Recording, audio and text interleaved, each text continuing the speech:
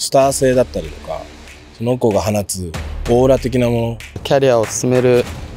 のがまあ早くなっていくと思うんで。新しいスタイルのラッパーの子とかも見てみたいなと思いますあとまあ必死さみたいな。勝ち上がっていく、えー、MC がたくさんいることを願っていますので。ラップに一番大事なのはオリジナリティなんで勝ちたい優勝したいっていうビジョンがしっかり見えてて。自分に対してストイックに。基本は潰し合いっていうみんなそれぞれの夢向かってラップしてる感じが絶対あるんで絶対見えるんで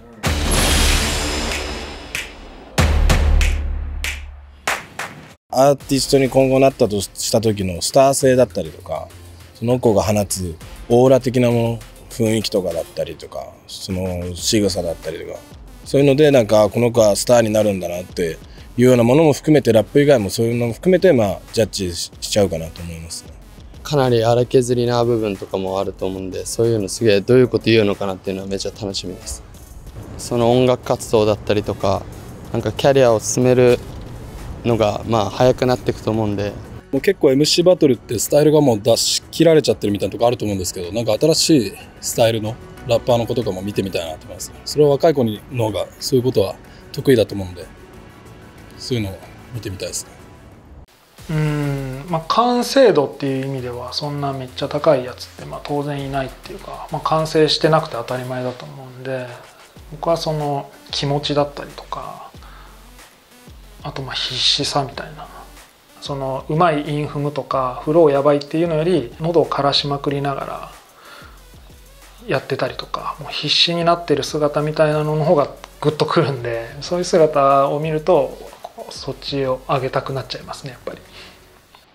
えー、またねこの大会まああのー、第2回ということでここからまたねあの数年後でもあの新しいスターがいやもうすぐにかもしれませんけれどもあの新しいスターが生まれることもとっても楽しみにしておりますし、まあ、こういうのをきっかけに勝ち上がっていく、えー、MC がたくさんいることを願っていますので、えー、本当に非常に楽しみにしております。僕としてはこう、まあ、DJ なんで DJ が、えー、何をかけるかみたいなものも含めてそれの試合のマッチングとかそういった観点からもジャッジできたら面白いかなとも思ってます。やっぱそのそれぞれのリアルをちゃんと発信するのがいいんじゃないかなと思いますけどね。なんかやっぱり中学生には中学生の見えてる世界があると思うし高校生には高校生の見えてる世界があるしそこをいい意味で背伸びせずぶつければオリジナリティがその際立ってくるんじゃないかなと思います。勝つためのラップをするのは没個性ラップに一番大事なのはオリジナリティなんで自分のやりたいラップをして勝たなきゃいけないんですよね。一個ハードル高いんだけど。だからそこをすごく志高くやってほしいとか。勝つための因とかじゃなくて自分を表現するためのっていうのをすごく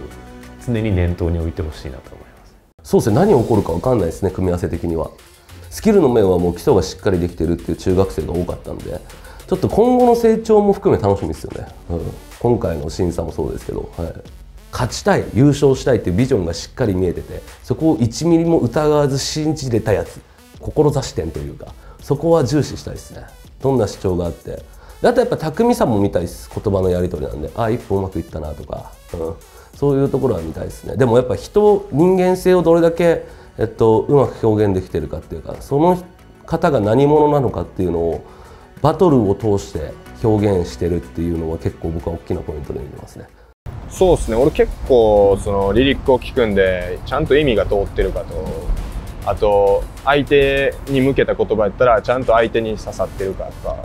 あと韻の踏みどころとかもその韻と韻で意味がつながってるかとかをそういうのを見て判断してですね。まあとにかくその激闘ラップ甲子園なんでいろんなねその若い年代の枠があるんですけど、まあ、そこは全員フレッシュさを持ちながらなんかあんまりなんていうんですかね身の丈に合わない言葉を吐いても自分っぽくラッパーっぽくないんでそこはもう自分に対してストイックに戦っていってくれたらなと思います。前回より横つながりがないんだろうなって感じが面白そうだなっていう。あの要は遠慮しないでいくっていう意味では。で結構僕この目を一通り通した時に基本全員殺すみたいなことが入ってるんで そこはなんかやっぱ若さでそれ欲しいよなって思うんですよ。全員ギラギラで来るから俺前回大会よりやり合い多いと思いますよ。マジで基本は潰し合いっていう、うん、そういう意味ではちょっと興奮できるかなって感じが強いと思うんでまあそこの方が面白いと思うんでやっぱ MC バトルはやっても言葉なんで、はい、もう罵り合いで全員ちょっとねあの終わったら本当胸ぐらつかんでもう最後なんか血だらけになって帰ってもらいたいな。僕が高校生の頃も大人の人たちから「やっぱお前らスキル高いわレベル高いわ」って言われてたのよりやっぱ自分から見てもさらに上手い人たちが集まってるし僕たちがやってた頃よりも個性があるんで正直みんな違うんですよタイプが。全く違うんでなんかそのバトルの優勝者を決めるっていうまあ大前提の目的があるんですけどそれよりこいつはこっち行ったら輝くやろな。こいつはこっち行ったら輝くやろなっていうスターを見つけれる感じがするっすね。うんうんうん。みんなそれぞれの夢向かってラップしてる感じが絶対あるんで。絶対見えるんで。だからもうディスの掛け合いも面白いですけどどれだけ自分をアピールできるかっていうのが。